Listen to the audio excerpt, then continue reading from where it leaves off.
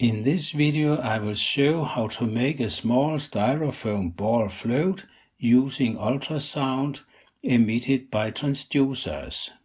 The phenomenon is called levitation and is known when we are tricked by magicians and in occult circles. Before we look at the microbit program, let's take a look at the term duty cycle. As you can see here, it is a number that indicates how many percent of a square wave is high. Here is the program that will make the ultrasonic transducers vibrate at 40,000 Hz, where each vibration takes 25 microseconds. Although we use the microbit's analog output, it actually produces square waves which are digital but you make an analog cheat value by changing the duty cycle. Here we set it to 50% using the number 511, which is approximately half of 1023. The signal from the microbit is not powerful enough for our purpose, so I found an old amplifier where I connected P0 and ground to the tape recorder input and the transducers to the speaker output. It provides a voltage just under 20 volts from peak to peak. Now I connected my oscilloscope with the A channel to the amplifier and the B channel to the upper transducer to measure the signal that the transducer makes when it receives ultrasound. By moving the transducers, I can achieve that the two sets of waves are in phase. I will explain this later. I peel out a small ball of styrofoam and halve it.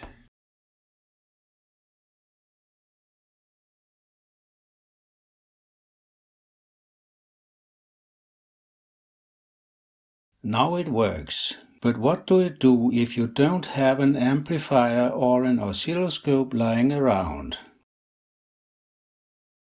You can make a small amplifier on a breadboard as shown here. It must be supplied with 18 volts and gives an output voltage of approximately 15 volts from peak to peak.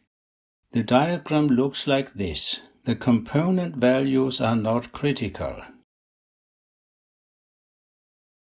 Now my setup looks like this. Both transducers are connected to the amplifier.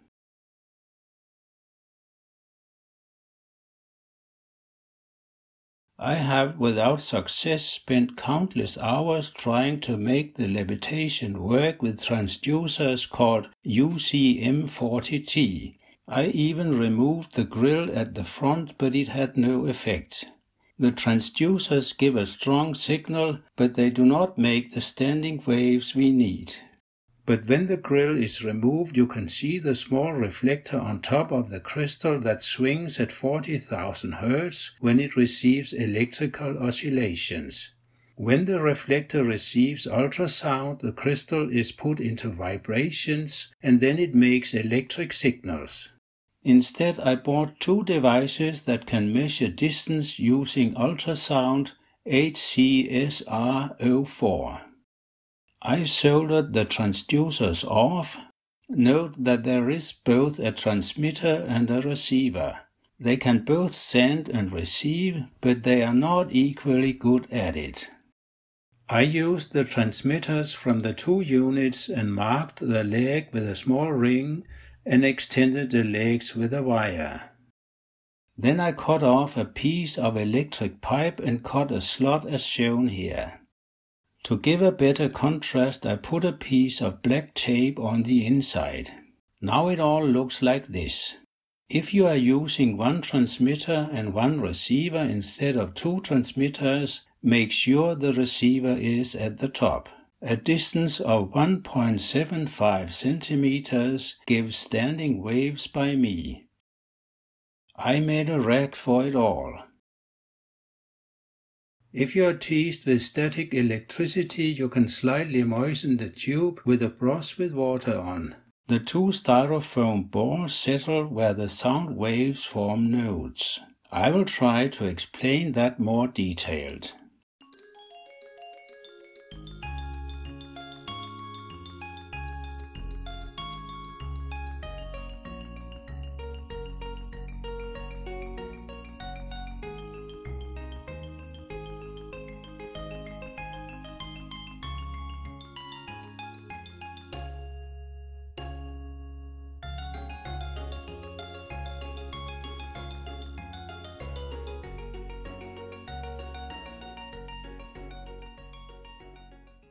Sound waves are longitudinal waves which can be displayed with a slinky. When I push a compression is formed and when I pull a rarefaction is formed. Both parts run along the slinky. Similarly, sound waves propagate. It can also be displayed like this. The distance between two compressions is called the wavelength, and here the letter lambda is used. The speed of sound in air is just over 340 meters per second, depending on the temperature. Now we will look at what happens when sound waves of the same frequency move towards each other. If there is a certain distance between the two sound sources, standing waves will form. At the so-called nodes, the air will not move. Between the nodes, the air will move back and forth. In this drawing you see a pipe with a moving piston. At the opening there is a tuning fork. The sound from the tuning fork is reflected by the piston and the two sets of sound waves meet. If the air column has the correct length, the sound is amplified. A standing wave is formed. There is half a lambda between the nodes. I will now show the experiment. As a sound source, I use a buzzer that is connected to a microbit where the period time is 333 microseconds. It therefore makes a frequency of 3000 Hz.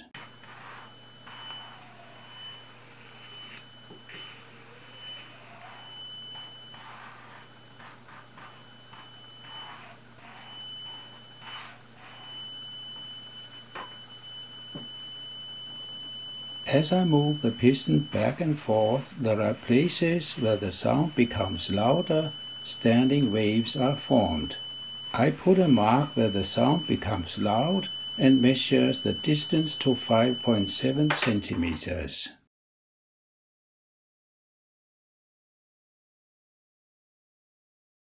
If 5.7 centimeters corresponds to half a wavelength, a whole wavelength must be 11.4 centimeters or 0.114 meters. For waves, this formula applies. Speed is called v, frequency f, and wavelength lambda, which is a Greek letter. By inserting the frequency and wavelength, I can now calculate the speed of sound in air. The theoretical value is 343 meters per second at 20 degrees.